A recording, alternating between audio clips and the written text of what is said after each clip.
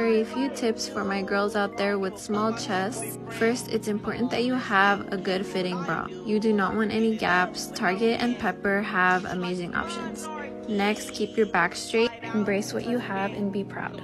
Stay away from tops with extra boob space. This is not cute and very unflattering. Instead, go for a square neckline or V necklines and layer some necklaces. When it comes to bikini tops, stay away from tops with extra boob space. Instead, go for a bandeau top, a tank top, or a triangle top with thicker straps. Follow me for more tips.